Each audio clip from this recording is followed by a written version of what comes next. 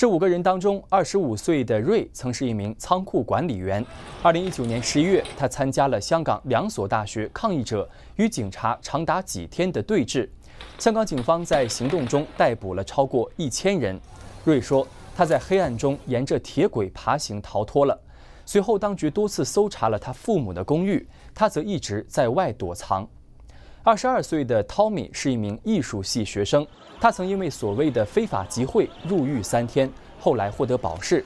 他说，当局没收了他的护照，阻止他合法离开香港。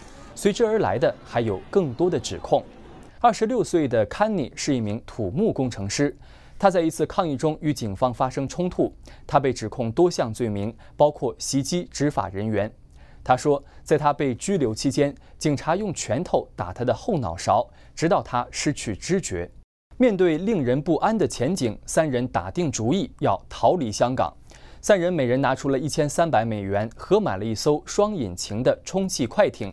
另外还有两位青年加入。随后就出现了一开始我们说到的那一幕：一个早晨，五人聚集在一个偏僻的码头，所有人都穿着不显眼的 T 恤衫和短裤。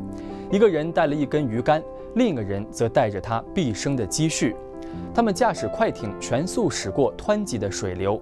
瑞回忆说呢，当他们发现有无法识别的船只时，简直吓得要死。在这样行驶了五个小时后，GPS 显示他们已经离开了中国水域，进入国际水域。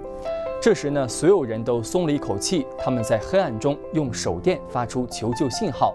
最后，一艘台湾的海警船发现了他们，并把他们带到了东沙岛。